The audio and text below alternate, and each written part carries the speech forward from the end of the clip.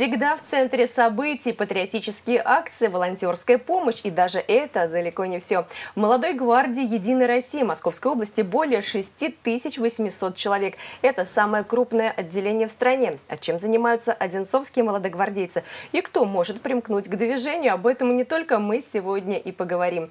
Здравствуйте! В эфире ОТВ, программа «Главная тема». Меня зовут Евгения Августина. В нашей студии молодогвардейцы Алена Наганова и Юрий Голиков. Здравствуйте. Здравствуйте.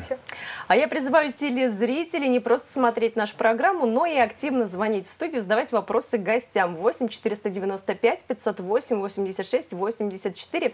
Это телефон прямого эфира. А, кроме того, комментарии, вопросы и пожелания вы также можете оставить в социальной сети Инстаграм. Там сейчас тоже идет прямой эфир. Ребят, ну я предлагаю начать эфир со знакомством. Мы очень часто освещаем деятельность молодой гвардии Единой России в Одинцовском округе, но всегда точечно. Вот здесь волонтерская акция прошла, здесь патриотическая, а главные герои остаются, ну не то чтобы за кадре, за кадром о них говорим постольку поскольку. Вот давайте э, расскажем, кто такие одинцовские молодогвардейцы. Можно выдохнуть. Ну, молодогвардейцы – это обычные волонтеры, которые как и все остальные, наверное, волонтеры, безвозмездно помогают окружающим. Может быть, у них более какая-то узконаправленная специальность. А, они действуют не, не во всех подряд мероприятиях, а связанных с общественной деятельностью, а, с какой-нибудь патриотической деятельностью или, может быть, а, разные субботники, помощь э, медработникам во время пандемии, ну и так далее. А кто может стать молодогвардейцем? Может быть, какие-то возрастные рамки есть? По-моему, там возрастные рамки очень высокие. Кто угодно может стать. По большому счету? Да. Может быть, э, если человек совсем взрослый, он может просто пойти в другую организацию, связанную с нами, например, общественная палата, которая с нами активно сотрудничает. Ну, а здесь в основном э, ребята, школьники, студенты. Э, попасть э, несложно, ничего такого нет, никаких отборов. Нужно просто написать в группу ВКонтакте где-нибудь.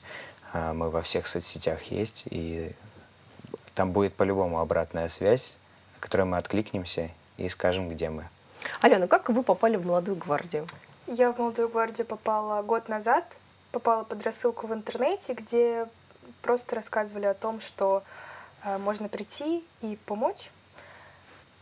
Было много организаций, которые ну, в нашем Одинцовском городском округе имеются, но коллектив мне понравился именно в молодой гвардии, поэтому я здесь.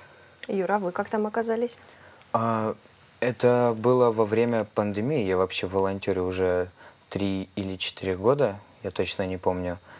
А, к нам в школу пришел Михаил Серегин и сагитировал ребят. А я тогда был в одиннадцатом классе перед ЕГЭ, и нас учителя не отпускали на волонтерство, чтобы мы больше посвящали времени обучению. А началась пандемия, и я все успевал, и у меня было настолько много свободного времени, я не хотел сидеть дома, понимаю, что просто так гулять нельзя, все-таки, а закон нарушать не очень. А поэтому я выбрал законный способ пойти на улицу, ну и плюс заодно кому-нибудь помочь. Я был неравнодушен. Я написал Михаилу, спросил, что нужно делать, и он мне в этот же день дал задание поехать э, купить продуктов э, бабушке, и я взял с собой друга, и мы закупились и принесли продукты. Вот откуда у вас такое стремление помогать э, ближним? Вот я хочу сказать, что на самом деле это причина, по которой Юра сказал, да, почему он во время пандемии пошел в молодую гвардию, стал волонтером. А вот чтобы никто не подумал ничего, очень многие волонтеры говорят, что именно поэтому присоединились к движению, а уже потом втянулись, потому что вот это желание помочь и удовольствие, которое получаешь, когда тебе говорят спасибо, оно, конечно, дорогого стоит и стимулирует к продолжению да. деятельности.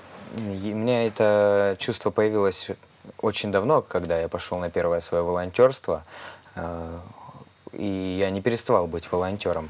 Но в молодую гвардию я попал вот благодаря пандемии, скорее всего. Все, что не делается, все к лучшему, Конечно. говорят. Алена, а вот самое яркое воспоминание за то время, пока вы, когда вы вступили в молодую гвардию, вот с тех пор?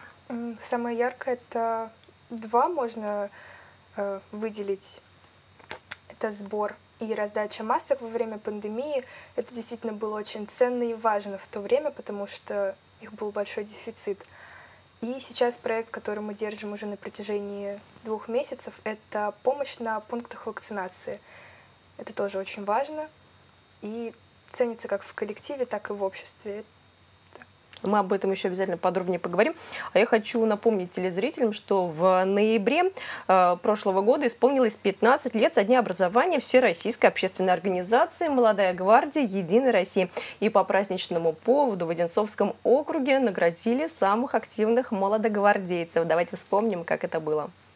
Мне рассказали друзья, я решила сходить, это еще было до пандемии. А потом наступила пандемия, и я решила продолжить ходить, так как действительно нужна была помощь людям. И как бы видно, и, ну, и коллектив очень хороший, отзывчивые люди.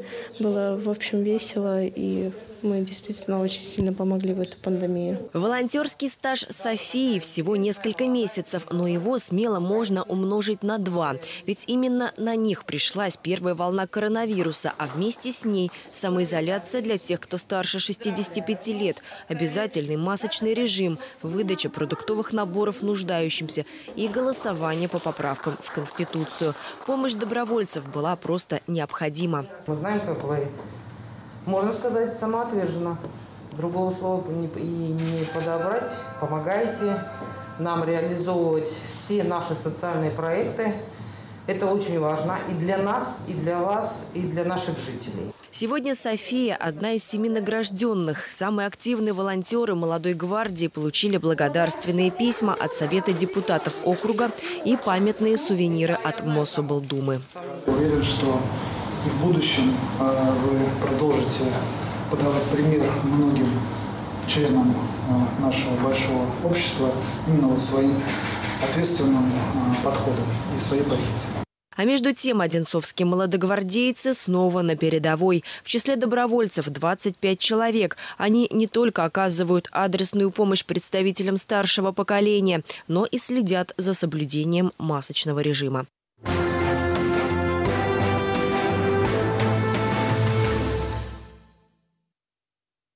Прямом эфире ТВ программа «Главная тема». Сегодня мы говорим о молодой гвардии «Единой России» в Одинцовском округе 8495 508 86 84. Звоните, задавайте ваши вопросы. Ну, слава богу, э, вот прям хочется поплевать и постучать. Вторая волна пандемии пошла на спад. Будем надеяться, что третьей волны у нас не будет. Давайте вернемся ненадолго в прошлое. Вот прям вкратце сказали, чем занимались волонтеры в период пандемии. Давайте остановимся поподробнее. Чем занимались, что делали? Это адресная помощь, правильно? Вот что к этой адресной помощи еще добавилось? А, ну, для начала мы эту адресную помощь организовывали в здании администрации. Мы собирали продуктовые наборы в огромных количествах. Там было сотни э, коробок, которые мы все собирали. А другие волонтеры тоже участвовали, которые старшие ребята, просто помогали. А потом грузили в машины, сами садились туда и э, развозили по домам, просто в домофон звоним, мы приехали к вам. И как выдавали. люди реагировали, что говорили? А, все знали, что мы приедем. Их заранее оповещали. Ну и я тоже должен был оповестить а, по телефону. А, говорили спасибо, как обычно. Я надеюсь искренне. Я уверена, что так Я и есть. Даже уверен, да. А, кстати, очень интересное мероприятие было связано с адресной помощью. Это когда мы упаковывали куличи на Пасху, э, мы раздавали их в церкви и потом э, развозили тоже ветеранам, пожилым людям и, наверное, самым разным категориям населения. Ален, вы да, уже сказали о том, что занимались эм, раздачей масок в период пандемии. Мы знаем, что к маскам отношение в нашем обществе неоднозначно. Вот как реагировали люди, как вы с этим справлялись? Люди все разные. А, большинство реагировало хорошо, потому что действительно их было очень мало, их было не достать. И мы были в самых, ну, можно сказать, горячих точках. Это раннее утро на площади, откуда уходят электрички. Люди все едут на работу, и всем нужны маски, перчатки, средства индивидуальной защиты. Ну, конечно, были те, которые хотели как-то избежать такого контакта, но, безусловно, были и те, которые очень радовались тому, что мы вот так безвозмездно, просто так помогаем и можем себе это позволить. А чем еще во время пандемии занимались? Ну, это был сбор, наверное, масок, потому что 24 часа в сутки мы проводили э, в администрации на площади и всем коллективам собирали, раздавали. Также адресная помощь.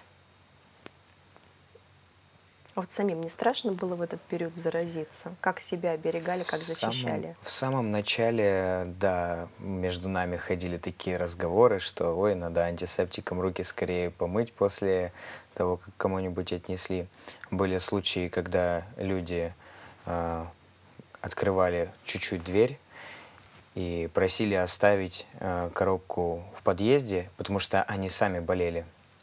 А, и после этого было странное смешанное чувство «заболею, не заболею». Но потом это быстро прошло, и уже совершенно спокойно мы пользовались антисептиком не для того, чтобы не заразиться, а для того, чтобы не заразить, возможно.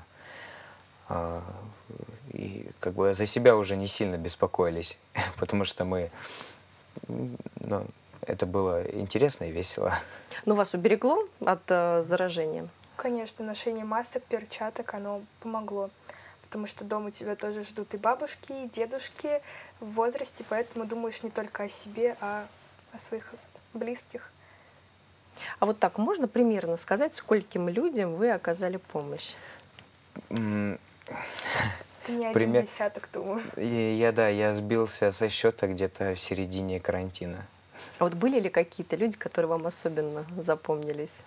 А, мне кажется, каждый вот такой адрес да. это каждый отдельный случай, отдельная история. Да, была женщина-ветеран, я ей привез коробку, и она очень была благодарна. Она очень долго мне высказывала речь благодарности и даже попросила, как бы не попросила, а предложила заснять на видео, и мы засняли это. Как она меня хвалит. Это же приятно. Это очень приятно, да. Она такая очень веселая и добрая женщина. Алена, у вас такие истории были? Я, к сожалению, в адресной помощи не принимала участие. вы остались, вот так скажем, совсем за кадром этой деятельности, да? Да, но это очень э, как-то повышает э, уровень стремления к чему-то большему, когда ты слышишь то самое спасибо. А вот не хотелось на передовую вот это выйти? Понятно, что вы и так были на передовой, но вот непосредственно адресную помощь оказывать. Ну, еще, еще тогда продолжала все-таки школа, поэтому не всегда можно было Скажем, быть в теме. Э, все-таки парни больше ездили на машинах и таскали эти коробки, потому что они не всегда были легкие. Э, и э, Девушкам, конечно, не Девушки поднять. больше, да, так сказать, а, в штабе сидели и помогали нам упаковывать все. Вот тоже хочется пояснить, работа на самом деле непростая, ведь это же постоянно очень э, были такие суровые требования, маски, перчатки всегда, да, должны быть на волонтере, который э, пакует э, коробочку правильно, я помню, из да. тех времен. Ну, хочется напомнить телезрителям, что волонтеры молодой гвардии Единой России вместе с членами общественной палаты передали медикам педиатрического отделения Одинцовской поликлиники номер 3 партию масок. Внимание на экран. Мы сегодня пришли еще раз сказать спасибо и от общественной палаты, и от молодой гвардии, и от сторонников. Сегодня мы выбрали именно в обеденный перерыв посетить вас. Всегда поддерживают как материально, так и физически, делится заведующая педиатрическим отделением Одинцовской поликлиники номер 3. Речь идет о членах молодой гвардии Единой России. Тысячу масок передали сотрудникам медицинского учреждения волонтеры вместе с членами общественной палаты округа. Медицинские учреждения у нас находятся на передовой. Все сотрудники рискуют своим здоровьем, можно даже сказать, своими жизнями. Ну и как мы можем их не поддерживать? Это основные люди, которых мы должны поддерживать, уважать, оказывать содействие и быть рядом вместе с ними.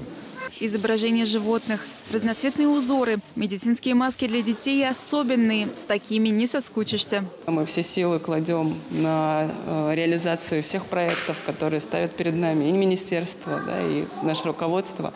Естественно, есть какие-то проблемы, и ваша помощь, она всегда оказывается вовремя, она нужна.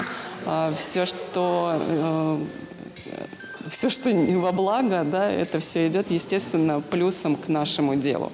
Медицинские учреждения сейчас нуждаются в поддержке как никогда раньше. Активные, энергичные молодогвардейцы всегда готовы выразить свою благодарность докторам в форме благотворительных акций. К нам обратилась молодая гвардия для того, чтобы помочь организовать сегодняшнее мероприятие, чтобы созвониться с нашей детской поликлиникой. У них появилась возможность у ребят и желание помочь именно детской поликлинике с такими вот красивыми, замечательными масками, которые бы не пугали детей, а приносили удовольствие и радость. Дефицит масок – проблема, с которой врачи столкнулись совсем недавно. Расход их огромен.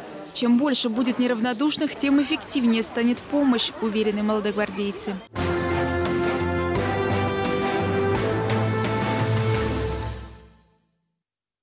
Из последнего сюжета стало понятно, что во время пандемии э, волонтеры молодой гвардии занимались не только помощью жителям, да, но и медикам. Здесь мы увидели, как вы передавали маски в третью поликлинику. Ну, во-первых, маски вы передавали не только туда, правильно? Да. И не только маски вы передавали. Вот давайте поподробнее расскажем, какую помощь медикам оказали. А, ну, там все произошло довольно-таки быстро. Мы взяли партию масок, например, в этом сюжете. А, э, мы их отдали медикам, они нас поблагодарили, мы поблагодарили их. А, взяли интервью у нескольких людей, ну и мы уехали, надолго не задерживались. А также мы в ЦРБ передавали партию, такую огромную партию воды в бутылках. Там тоже, я думаю, была э, картинка. Э, небольшая газель, э, и мы ее разгружали все э, вместе с общественной палатой, э, в основном вся вот наша организация. Тоже передали воду, поблагодарили. И, по-моему, там еще какие-то сладости были в пакетиках. Так просто символично. К чаю? К чаю, да. Мелочь, а приятно. Да. Ален, ну вы сейчас да, уже заявили вид деятельности, работа в колл-центре, э, в пунктах вакцинации от COVID-19. Расскажите, пожалуйста, чем занимаются волонтеры молодой гвардии? Э, работа в нашем штабе делится, наверное, на женскую и мужскую. Мужская — это вот то, чему мы уделили... Как несовременно, скажу я вам. Э, то, чему мы уделили до этого большую часть времени. То есть действительно тяжело таскать, поэтому девочки только так организовывают, помогают морально, а помощь на пунктах вакцинации — это работа с потоком, и, конечно, э, нам проще. Работа заключается в том, что э, нам нужно отксерокопировать документы желающих привиться, помочь э, им с заполнением пакета документов, который нам предоставляется, и, собственно, направить их к врачу? Ну как проще? Я бы могла поспорить. Работа с людьми, она всегда не проще. А чаще всего какие вопросы задают? Э, какой вакциной прививаем э, и через сколько приходить на вторую? Ну, давайте ответим, чтобы вы сразу все услышали. Да. Может быть, их станет меньше. мы спутником ВИ, и между первой и второй вакцинацией период 21 день. Не больше и не меньше. Да. А вот какой период волонтеры будут работать на пунктах вакцинации, или это бессрочная такая акция? Э, мы работаем где-то с февраля, и скорее это бессрочная. А на каких пунктах работаете? А, э, Глобус, Вегас, а, Дубрава. И недавно открыли а, два пункта. Один в ТЦ «Союзный» на станции Одинцова и в Подворье рядом. И в Атласе еще у а, нас да, есть пункт вакцинации. Также а, частично есть в активном долголетии библиотеки номер один, тоже иногда проходят. И там тоже вы да. работаете. А сейчас волонтерский центр работает? Можно обратиться за помощью? Или пока ситуация стабилизировалась, волонтеры могут немного выдохнуть? Нет, никогда не выдыхаем. Постоянно у нас есть э, горячая линия, на которую можно позвонить. Собственно, откуда и был вопрос э, о реакции бабушек и дедушек на продуктовые наборы. Э, скорее, они сами звонили и говорили, что им нужна помощь. Вот, поэтому все обращаются и знают, куда.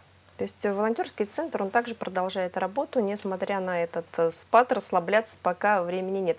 Но смотрите, работа с людьми всегда чревата выгоранием. Вот э, была ли у вас такая усталость, может быть, от общения, от постоянных контактов, или пока никакой усталости нет и вообще выгорания не существует? Вы знаете, я работаю в университете с бумагами, и от общения я бы точно никогда не выгорел у меня иммунитет к этому, а вот такая офисная работа, от этого я скорее выгораю. Рутина такая. Так что волонтерство для меня это хобби и удовольствие, как для кого-то рыбалка. Так что мы не выгораем. Алена, вы что скажете после работы в колл-центрах? У нас, безусловно, очень хороший коллектив, потрясающий наставник Михаил Михайлович Серегин, вот, который поддерживает нас во всем, помогает решать как личные вопросы, так же и вопросы на связанные с э, нашей деятельностью, поэтому выгореть почти невозможно, потому что мы все как семья, мы общаемся как на мероприятиях, так и вне. Постоянно устраиваем мероприятия в неформальной обстановке, поэтому мы дружим между собой. Конкуренция какая-то есть у молодогвардейцев? А... Я больше бабушек обошел. Нет, я вот обойду больше бабушек. Ну, вряд ли это можно назвать конкуренцией.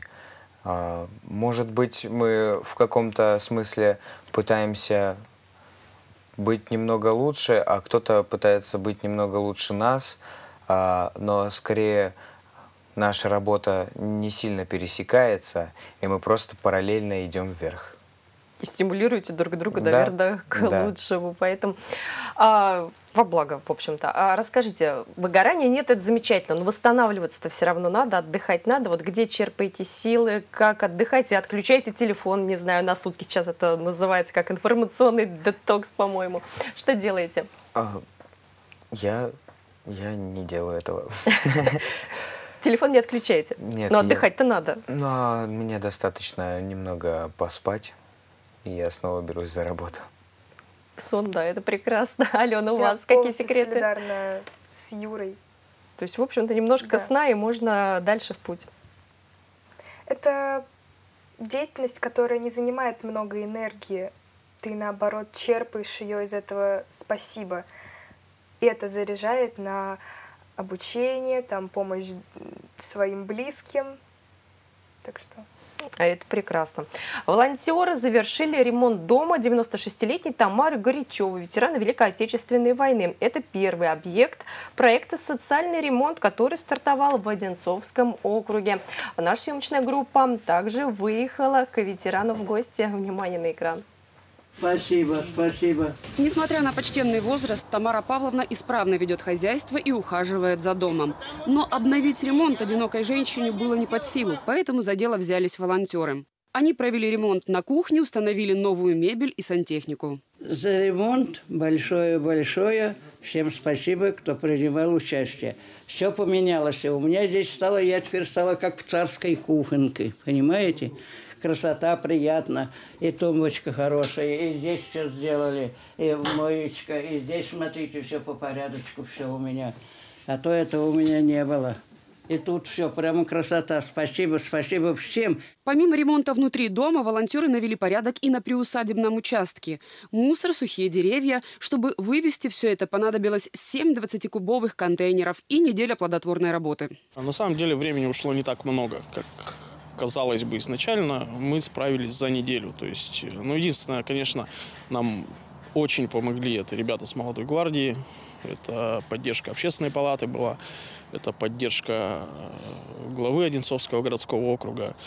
Ну и также вот э, МБО огромное спасибо, ребята очень сильно помогли, они прям три дня здесь э, с утра и до вечера все это пилили, вывозили, грузили. Результаты проведенной работы оценила первый зампред Московской областной думы Лариса Лазутина. Она навестила Тамару Павловну, вручила ей подарки и пожелала крепкого здоровья. Сколько жизни в ней и жизнелюбия.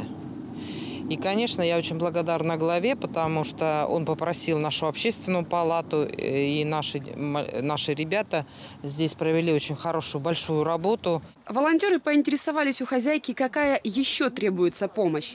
Она попросила установить забор и починить калитку. В ближайшее время участники проекта «Социальный ремонт» возьмутся за делом.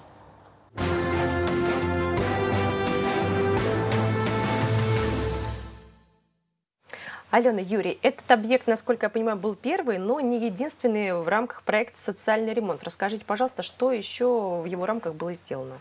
А, в рамках проекта «Социальный ремонт» у нас было мероприятие. А, мы помогали э, ветерану Великой Отечественной войны переезжать из а, старых домов, которые подлежат под снос, в Одинцово-1. Мы загрузили тоже газельку его мебелью, перевезли э, и все помогали поднимать, расставлять как-то. Э, ну и Такая нелегкая работа, в общем-то, тоже муж, опять мужская сила. Да, это конкретно мужская сила, после которой все-таки иногда хочется передохнуть. Ну, это приятно такая услуга. Вот тут да. точно ляжешь, поспишь, и все пройдет. Конечно, да. Здесь помогает. А, работа с ветеранами, а, это все понятно. А работа с молодежью, мне кажется, она наиболее сложна, потому что, да, ветераны все и так знают, помнят. А вот молодежь э, современная, к сожалению, не всегда где-то знает, не всегда где-то хочет помнить. Вот с ней как работаете? А, последний наш проект был приурочен к 8 марта. Мы проводили флешмоб на главной площади. Просто своим коллективом собрались, придумали, отучили танец, э, вышли к 8 марта и поздравили всех девочек, женщин, которые были в этот день. Естественно, в атрибутике это тоже был такой своего рода агитационный маневр, потому что всегда, когда ты видишь красивую картинку, это приятно и хочется за этим следовать. Ну, также ездим по школам, тоже рассказываем о своей деятельности, и дети интересуются – пишут и присоединяются. А я вот хочу сказать, что мы напомнить, что мы работаем в прямом эфире 8 495 508 86 84. Здравствуйте. Здравствуйте. Здравствуйте, как вас зовут? Уважаемая Евгения, это Валентина Калуга, руководитель Здравствуйте, Валентина. Очень приятно. Смотрела, да, очень рада. Э, я смотрела вести по БГТРК, потом дом переключусь на свое Одинцово. И вот раз вы беседуете с ребятами, хочу просто сказать доброго вечера. Вам низкий поклон всем, и телеведущим, и нашей телерадиокомпании Одинцовской, и всем ребятам, которые работают такую ну, великую, человеческую, чистую, светлую, делают работу с населением, радостно жить. Мы мы-то пожилые, мы старались петь песни старшего поколения э, о нашей родине, защищать родину, беречь для вас, для всех, для молодых. И рады, что все на посту и так дружно, так величественно, так чистосердечно, так светло относятся вообще к жизни в стране, что я считаю, что наша Россия – была великая и останется великой. И мы будем жить счастливо и радостно все. Спасибо. Вам спасибо большое, Валентина. Вот когда верят, это замечательно, значит, действительно все будет. И вот сказали нам спасибо, и прям дальше работать хочется. Да. Еще хоть на час прямой эфир можно проводить. Вот волшебная сила. Спасибо. Ничего не добавить, не убавить. Давайте про патриотическую работу с молодежью продолжим. А, вот э, мы еще недавно устраивали флешмоб в парке имени Лазутиной с, с флешмобом, э, посвященному здоровому образу жизни. Э, там наши ребята провели такой танец, что ли. Я, к сожалению, туда не смог попасть, я был в университете. Алена, ты была? Нет, я снимала. Но была где-то рядом. Была где-то рядом, да, поддерживала. Это немаловажно, как мы вот только что выяснили.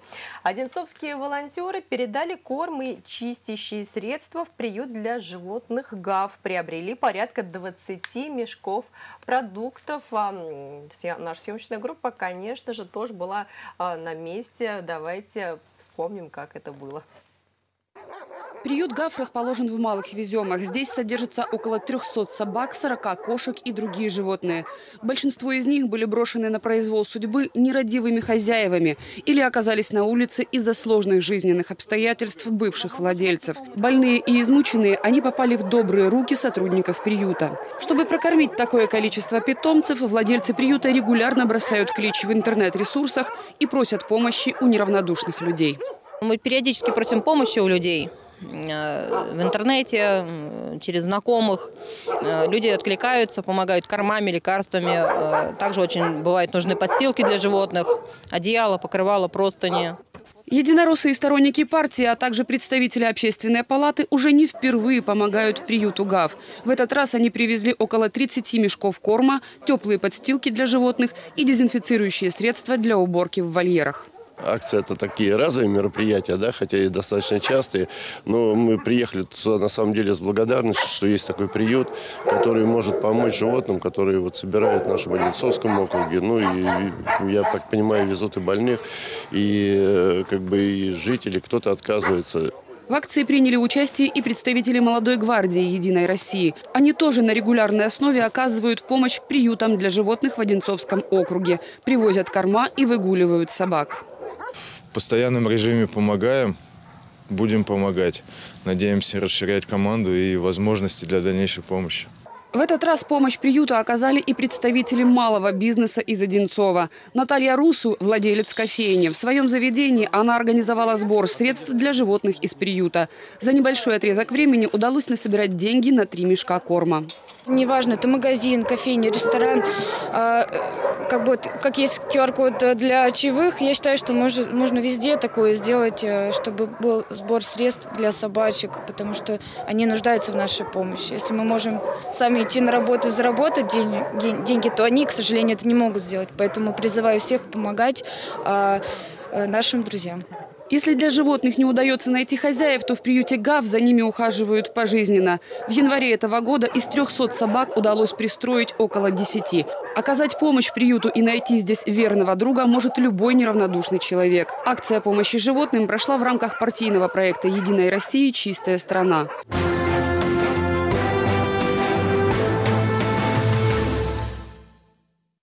В прямом эфире ОТВ программы «Главная тема». И сегодня мы говорим о молодой гвардии Единой России в Одинцовском округе. Вот хочу с комментария короткого, но ясного в Инстаграм. Титова Н пишет, ребят, что вы топчик. Все окей, все прекрасно, Спасибо. поэтому... Э, Привет. Не переживайте, не волнуйтесь. Хотя я понимаю, что прямой эфир дело такое. А, как и собачий приют, приют для животных. Вот поделитесь впечатлениями, как вам там было? Я когда туда приехал, мне просто хотелось погулять со всеми одновременно, потому что я очень люблю собак. Хотя у меня а кот. забрать домой всех не хотелось? А, ну, кот бы не мне, одобрил. У меня квартира поменьше по площади, чем этот приют, так что... А, но хотелось всех хотя бы погладить, что ли. Вот. Алена, вы как к животным относитесь? Очень положительно тоже принимала участие не в этой, а в акции тоже, но в другое время было очень тоже бесценно. И это такие эмоции, когда ты помогаешь э, живому человеку, это одно. Когда собачки, это совсем другой. Погулять, покормить, это очень приятно и душевно. Правильно я понимаю, что вы э, не только приюту ГАФ помогаете, кому еще помогаете? Да, у нас э, есть в Одинцово частный Одинцовский приют. А, мы туда очень много раз ездили, а, привозили им корм, просто выгуливали собак, ну, все по, по классике. А, вот там, конечно, он поменьше, чем ГАФ, но тоже существует активно. И я думаю, собаки там чувствуют себя довольно комфортно. Я практически в этом уверена, потому что наша съемочная группа там тоже неоднократно бывала. Действительно, животным в приюте хорошо, но дома им было бы еще лучше. Практически каждую вот эту собачку, да не практически, а каждую эту собачку можно смело брать к себе домой. Они все здоровые, привитые, а потомства у них не будет. Ну, в общем-то, наверное, это скорее плюс, чем минус. Правильно? Да. А, ребят, что сейчас в повестке молодой гвардии Единой России Одинцовского округа? Пока что мы продолжаем проект вакцинации, открываем новые точки, помогаем на тех, которые уже открыты. Это же ежедневно, поэтому пока так. По, э, ну, у нас сейчас еще и пара субботников торжественно а, открылась. Да. Вот давайте рассказывайте, где Все же были. субботы мы стараемся, будем стараться поддерживать. Две уже благополучно поддержали и помогли. Вот еще две остались. Юрий, чем уже удалось позаниматься на субботниках? Мы поехали в трехгорку и просто помогли местным жителям 17-й школе немного прибраться вокруг вокруг. А вот района. не обидно, да, говорят же, что на субботниках убирают обычно люди, которые не мусорят, да, ну, так или иначе за другими убираем. Вот не обидно, что кто-то бросил, а ты за ним ходи и убирай. Ну, конечно, обидно, но это как раз для нас и нужно, потому что мы не мусорим, потому что хотим, чтобы было чисто. Но чтобы было чисто, еще нужно убрать. Иногда приходится убрать за кем-то другим. Но земля круглая, встретимся. Обидно будем, будет, если не уберешь это. Не хочется жить в грязном городе, когда это твой родной город. Но все-таки пример-то заразителен хочется в это мы верить. Не заражаемся. мы всяком... коронавирусом не заразились и этим не заразимся. Вот. Не, ну хочется, чтобы другие заражались от вас и выходили а. на субботники и убирались, и ездили в приюты. Ну, в общем, занимались всем примерно так же, ну, в свое удовольствие, да, потому что не каждый из нас может быть волонтером ввиду разных причин. У кого-то времени нет, да, у кого-то возможности. Но, тем не менее, было бы желание. К 9 мая уже что-то планируете? Пока нет. Время пока, еще есть, да, чтобы подготовиться.